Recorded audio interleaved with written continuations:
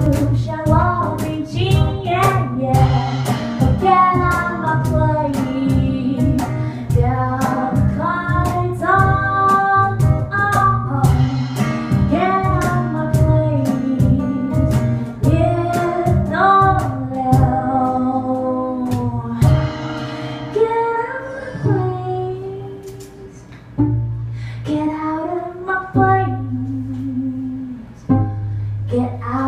my plane.